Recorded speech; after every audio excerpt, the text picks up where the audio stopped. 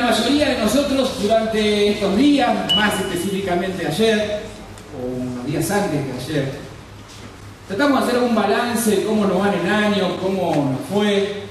He visto que muchos de ustedes en el Facebook puso cosas que Dios ha hecho en su vida, ¿no? Y creo que es un tiempo en el cual uno empieza a hacer una crítica, un balance de cómo nos va, cómo nos fue, para tratar del año siguiente poder mejorar. Y saben que buenísimo que arrancamos ahora durante todo el verano una serie que se llama Más que Vencedores. ¿sí? Durante varios domingos en este verano vamos a estar tratando diferentes temas, diferentes dificultades que tal vez el año pasado fueron gigantes para tu vida. Tal vez fueron algo que no lo pudiste superar o algo que realmente te desbordó y no pudiste vencer. Por eso es que queremos que en el verano entrenar y prepararnos para que en el 2017 podamos ser más que vencedores. Y es el desafío de la iglesia que vos y yo podamos eh, tomar esta serie en nuestras vidas y que podamos eh, aprender más de Dios y aferrarnos a las verdades que Dios tiene para nuestra vida. Esta mañana, esta noche, perdón, vamos a estudiar ahí en Romanos capítulo 8, pero antes de leer el pasaje vamos a orar y a pedirle a Dios que nos hable en esta noche. Oramos, querido Dios, le damos muchas gracias, Señor, por el año que tú nos diste y por el año que nos vas a dar. Gracias por tu palabra, porque en ella encontramos, Dios, que a través de tu amor, de tu gracia, de tu misericordia, somos más que vencedores. Háblanos, Señor, en esta noche a nuestras vidas, que tu palabra, Señor, pueda desafiarnos a cada uno de nosotros a ser más que vencedores. En el nombre de Cristo Jesús. Amén. Muy bien, saben que les invito a que puedan abrir sus Biblias en Romanos, capítulo 8, y ahí arranca el primer versículo en capítulo 8, a ver si está haciendo bien, ahí está, dice, y sabemos que a los que aman a Dios, todas las cosas le ayudan a bien. La primera buena noticia que tengo para darte es que si amas a Dios, las cosas, dice, te van a ir bien, te van a, Dios te va a ayudar a que te vaya bien. Ahora vos podés decir, bueno, mira, Beto, yo el, año pasado amé a Dios, busqué a Dios, pero no me fue tan bien. El año pasado yo intenté buscar de Dios, conocer más de Dios, pero bueno, las cosas no, no me salieron. ¿Cómo puede ser? Si Dios dice en su palabra que los que nos aman, todas las cosas le ayudan a bien. ¿Cómo puede ser que todas las cosas me ayudan bien si tengo una enfermedad terminal, ¿sí? Y todo me ayuda bien, dice la palabra de Dios. ¿Cómo puede ser si me, queda, me quedé sin empleo que todo me ayude bien? ¿Cómo puede ser si no aprobé los exámenes de ingreso a la facultad que todo me ayuda bien? ¿Cómo puede ser si tengo problemas con las personas que todo me ayuda bien? Bueno, es difícil a veces de entender. Y a veces parece que hay una contradicción, porque la palabra de Dios dice una cosa, pero en la verdad lo que yo vivo, la realidad que todos los días, es otra cosa. Pero hay una gran verdad acá en este pasaje, en el capítulo 8, que Dios ideó un plan.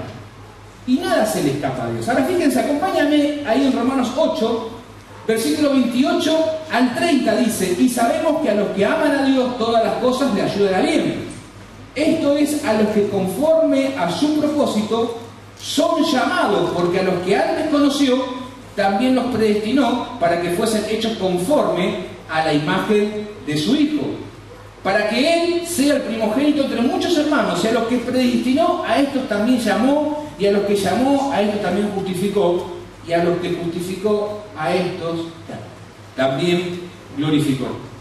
Dios ideó tu vida, Vos no estás viviendo las cosas en este mundo por casualidad, sino porque Dios así lo, estableció, lo planeó.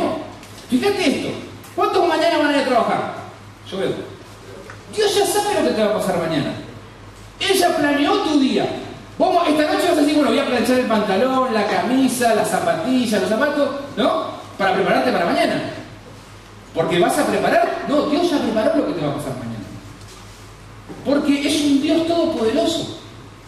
Es omnisciente, es omnipresente. Y lo que te pasó en el 2016, Dios lo estableció así que así te pasara.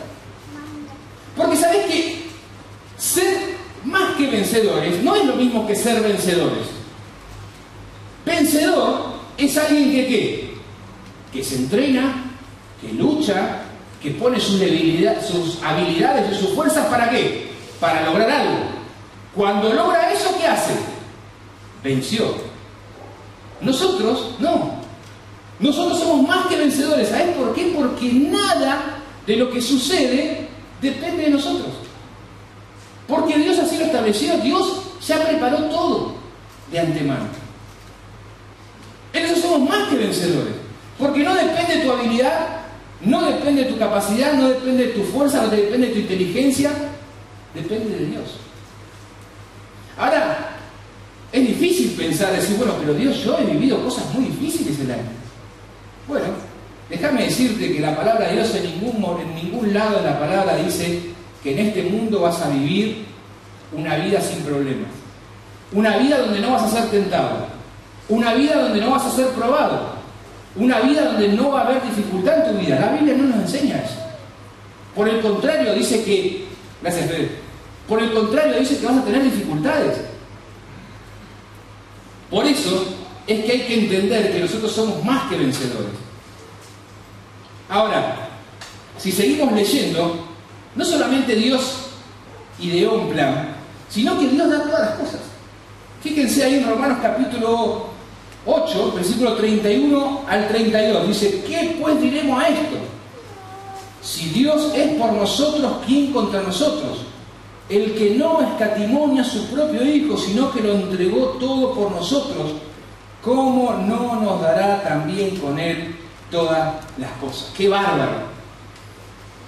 Nosotros tenemos un Dios al cual no escatimó en dar a su propio Hijo para morir en una cruz por vos y por mí.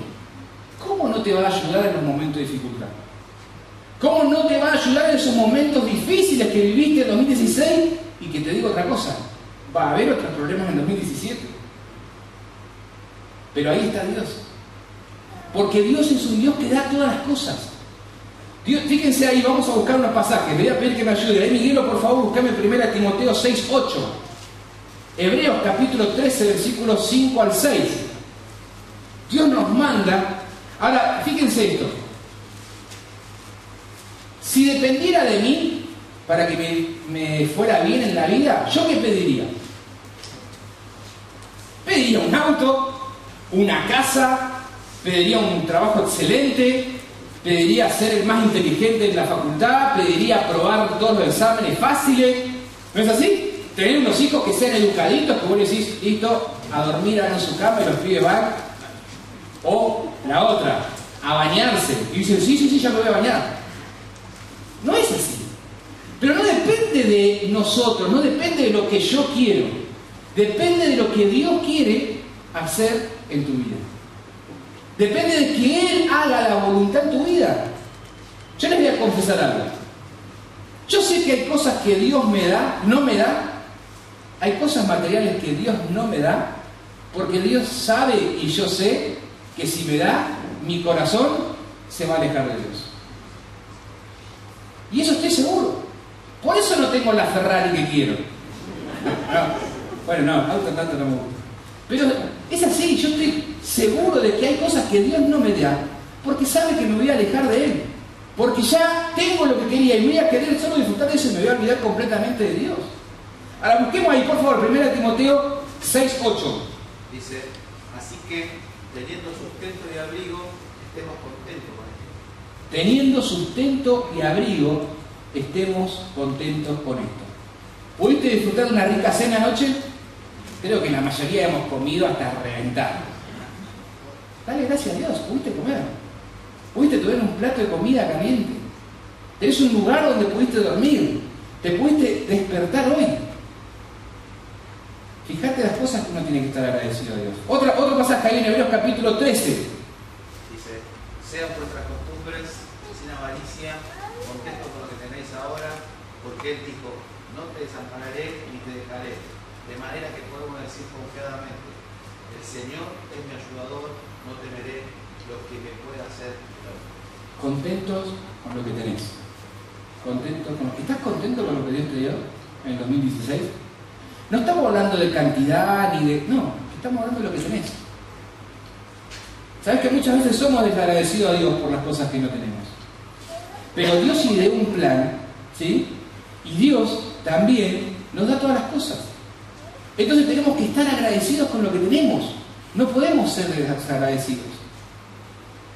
Tenemos que estar contentos con lo poco, con lo mucho, con lo que tenemos. Nuestro corazón, ¿qué va a querer? Siempre más.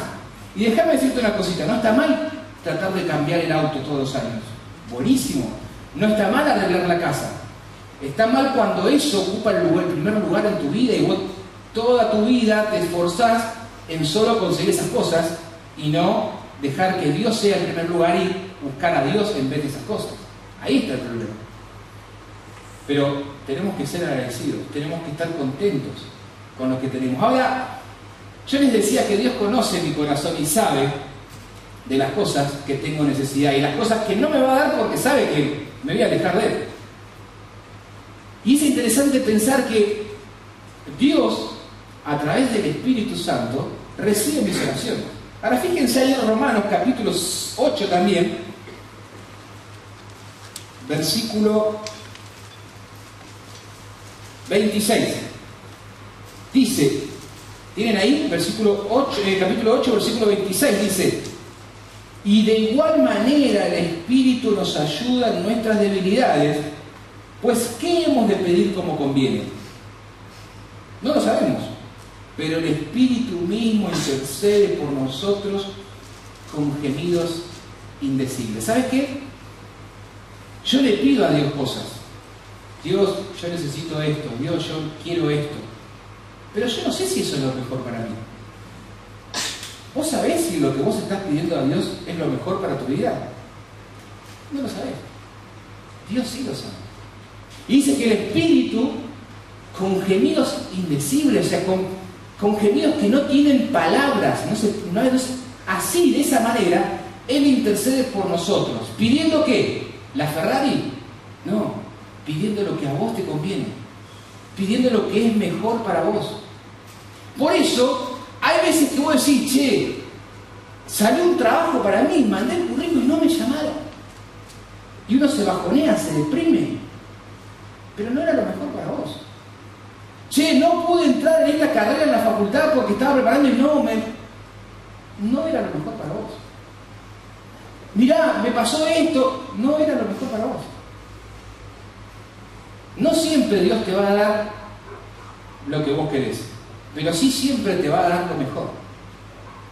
No significa que sea mucho o que sea poco, sino lo justo y lo necesario. Por eso tenemos que estar contentos con lo que tenemos, porque es lo que viene de parte de Dios. Es por lo que Dios decidió y planeó y planificó para tu vida y para mi vida. Por eso somos más que vencedores, porque no depende de nosotros, depende de Dios. Si no, sería algo que humanamente yo no estoy logrando y lo, lo estoy consiguiendo, pero no es de Dios. Y eso si lo lográs no va a traer paz y no va a traer felicidad a tu vida, sino que va a traer otras consecuencias que van a ir, vamos a ir viendo durante el verano, como la amargura, la ira, porque no es de Dios, es de tu corazón y de tu fuerza. Entonces, Dios, ¿sí? ideó un plan. Dios nos da todas las cosas. Pero una cosita más. Dice, Dios nos justificó. ¿Sí? Somos más que vencedores porque Dios ideó, Dios nos da todas las cosas, porque Dios nos justificó. Versículo 33 dice, ¿quién acusará a los escogidos de Dios? Dios es el que justifica. Versículo 34. ¿Quién es el que condenará? Cristo es el que murió más aún, el que también resucitó, el que, el que además está sentado a la diestra de Dios, el que también intercede por nosotros. ¿Sabes qué? En el medio de la vorágine de, las actividades que tenemos durante el año, del trabajo, del estudio, de la escuela, de los chicos, de mi esposo, de mi esposa, de mi pariente, de mis amigos, muchas veces nos olvidamos de la posesión que tenemos, de lo grande que es nuestro Dios que un día nos justificó. Un día Dios envió a su único hijo a morir por cada uno de nosotros y a veces eso no lo entendemos. Y nos preocupamos más por los problemas porque no llegamos a fin de mes y no nos acordamos de que estamos justificados delante de Dios. Y eso no hace más que vencedores. Fíjense, vamos a buscar ahí, Romanos capítulo 8, yo les leo, 8.1, dice, ahora pues ninguna condenación, ¿sí? 8.1, ahora pues ninguna condenación hay para los que están en Cristo Jesús. Ninguna condenación hay para los que están en Cristo Jesús. Juan capítulo 5, versículo 24, un pasaje conocido, dice, de cierto, de cierto os el que oye mi palabra y crea el que me envió, tiene vida eterna y no vendrá condenación, mas ha pasado de muerte a vida. ¿Saben lo que es eso? De que no vas a estar la eternidad en el infierno, sino que vas a pasar una eternidad con Dios. Fíjate cómo te cambia la perspectiva y la mirada cuando vos pones la mirada en Dios y entendés que Dios te justificó. Si es que un día lo recibiste en tu corazón. Si no, todavía tenés que arreglar tu cuenta con Dios. Todavía Dios te da una oportunidad. Te da un año más. Te da un día más. No sabés. Pero hoy puede ser ese día. Hoy puede ser ese día en que vos reconozcas tu condición delante de Dios. Le pidas perdón por tus pecados le invites a Jesús a que entre en tu corazón y limpie tu, corazón de los pecados. Hoy puede ser el día. Y si ya lo hiciste, tenés que pensar de que Él nos justificó. Y no fue con oro o con plata, fue con la preciosa sangre de su Hijo Jesucristo. Leíamos ahí quién no escatimó ni a su propio Hijo, o sea, no mezquinó, no le sacó un poquito, no, no, lo dio todo. Por amor a vos y por amor a mí. ¿Cómo no voy a estar contento de esperar el 2017 sabiendo que Cristo me justificó? De que estoy justificado delante de Él. Segunda de Corintios, capítulo 5. Otro pasaje hermoso donde habla acerca de, de lo que Cristo hizo. Fíjense, segunda de Corintios 5, 21 dice, al que no conoció pecado, por nosotros lo hizo pecado, para que nosotros fuésemos hechos justicia de Dios en él. Eso es la justificación. Hoy quería contarles un ejemplo de Ray, que Ray tiene en su teología básica, ¿sí? Por hecho, de hecho, si lo quieren leer, es bárbaro. Y Ray, da un ejemplo que está buenísimo. A ver, quiero que tratar de explicarlo y que me sigan. La Biblia lo muestra a Dios como un juez, un juez justo. ¿sí? que tiene en su banquillo de acusado a un pecador. El juez justo tiene tres opciones. Lo declara culpable, lo justifica, lo perdona, pero eso iría en contra de lo que él es, porque él es justo, no lo puedes perdonar así porque sí.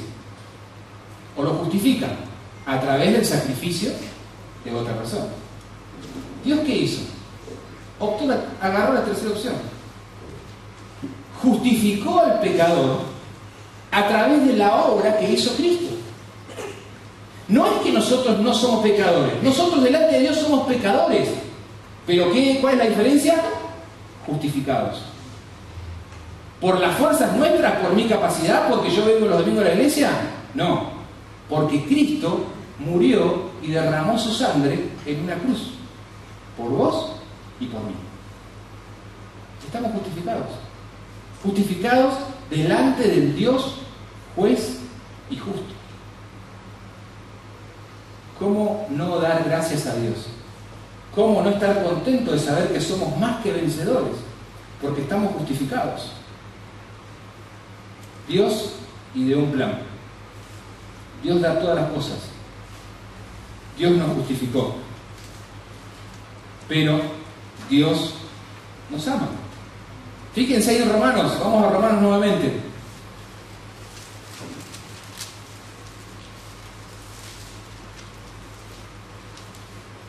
Versículo 35. ¿Quién nos separará del amor de Cristo?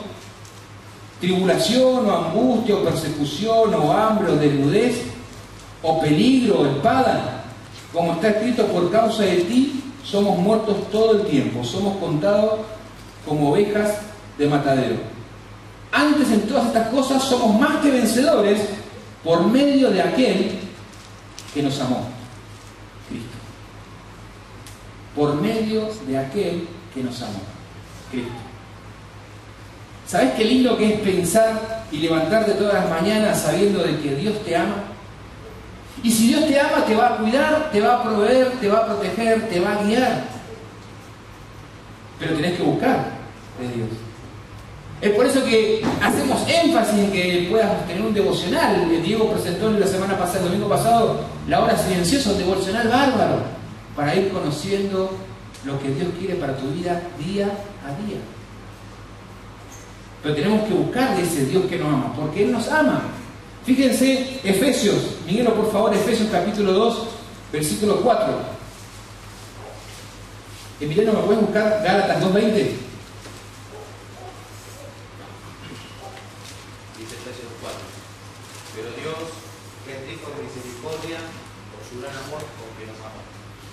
Otra vez, por favor. Pero Dios es rico en misericordia por su gran amor con que nos amó. Gálatas 2.20.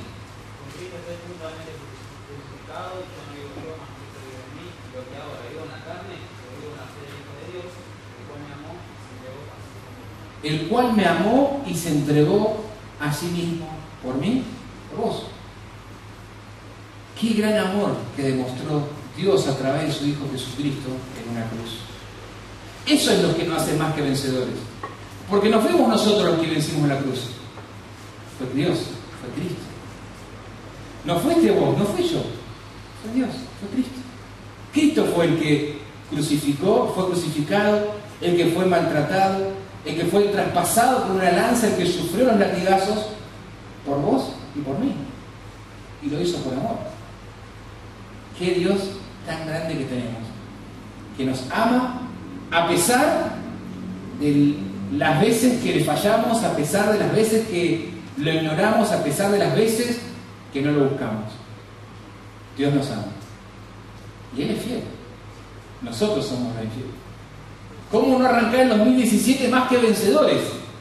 Sabiendo, sabiendo de que Dios es el que ideó el plan de tu vida sabiendo de que Él te da todas las cosas, sabiendo que Él nos justificó, sabiendo de que Él es el que nos ama. Quería contarles una historia para que entendamos lo que es más que vencedor. Saben que había un atleta que se tenía que preparar para una carrera muy importante, una carrera mundial donde él quería lograr la medalla de oro. Entonces se propuso en su mente y dijo, bueno, yo voy a lograr ese premio, era un premio reconocido eh, ante los atletas, pero también económico muy importante.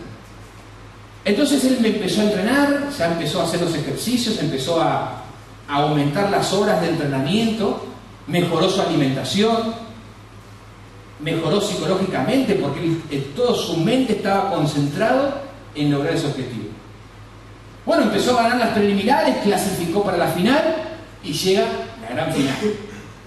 Entonces cuando está en la final de la carrera, empieza a correr, pone todo su esfuerzo, todo su empeño en lograr y gana. Sale campeón. Gana la medalla y gana el dinero que había de premio. Pero ¿qué hace este atleta? Va a su casa, llega a su casa y ve a su hijo, le entrega la medalla y le da el dinero. Ese niño no era el vencedor, el vencedor era el papá. Ese niño era más que vencedor. Porque él no hizo nada. Él no entrenó, él no se esforzó, él no corrió la carrera. El que corrió fue su padre. Lo mismo pasa con vos y yo. Nosotros no somos vencedores, el que es vencedor es Cristo porque Él fue el que murió en la cruz. Nosotros somos más que vencedores porque recibimos ese premio sin merecerlo sin hacer nada, gratis. Porque eso es la gracia de Dios. Es un regalo inmerecido. Por eso es que somos más que vencedores. Por eso es que tenemos que estar contentísimos de saber de que te espera todo un 2017 por delante, siendo más que vencedores. Ahora, piensen esto, no va, no va a cesar los problemas, Capaz que no vas a llegar a fin de mes. Capaz que te van a despedir de tu trabajo. Capaz que vas a tener que enfrentar algún momento de enfermedad. Pero sos más que vencedor. Esa es la seguridad que tenemos. ¿Saben que el mundo hoy contrata cámaras, contrata empresas que se dedican a asegurar las casas? Seguros de vida, aseguran a las personas. ¿Sabían que las piernas de Messi están aseguradas en millones de dólares? Todo tiene un seguro. Pero nosotros no tenemos un seguro. Nosotros tenemos otro tipo de seguro. ¿Qué te hace sentir seguro? ¿Sabes qué? Yo les voy a decir qué es lo que me hace sentir seguro. Fíjense en, Romanos 8, los últimos dos versículos dice, por lo cual estoy seguro de que ni la muerte ni la vida. Gracias. Y otra vez. Por lo cual estoy seguro de que ni la muerte ni la vida, ni ángeles, ni principados, ni potestades, ni lo presente, ni lo porvenir, ni lo alto, ni lo profundo, ni ninguna otra cosa creada nos podrá separar del amor de Dios que es en Cristo Jesús, Señor nuestro. Este tiene que ser nuestro seguro en el 2017. Esto es. De saber que nada, nada te va a poder separar del amor de Dios.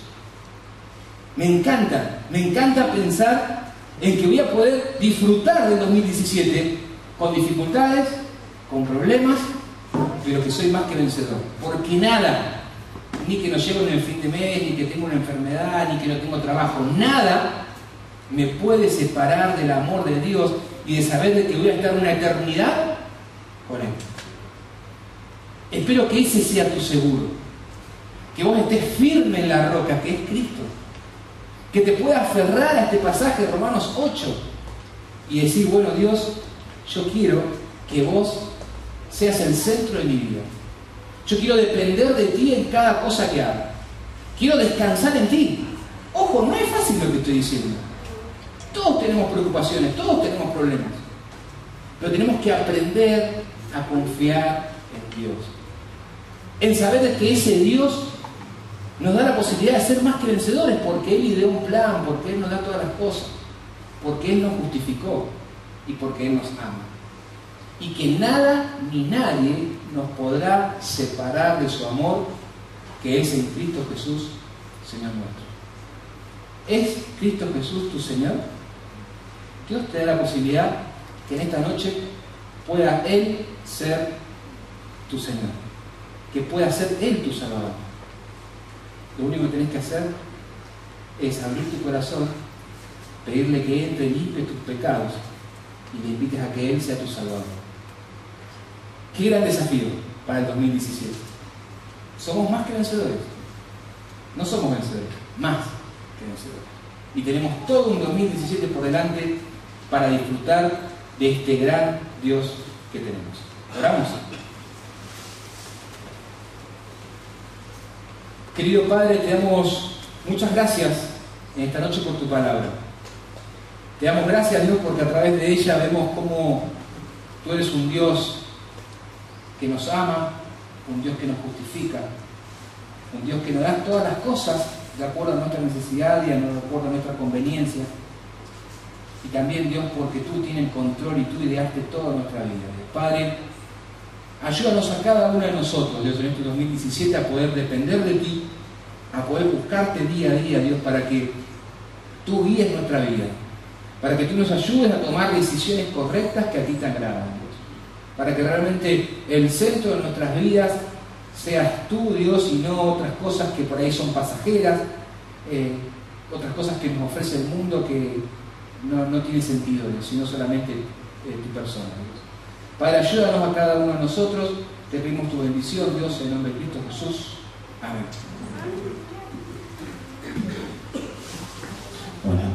Muy bien, buenas noches hermanos, ¿cómo les va?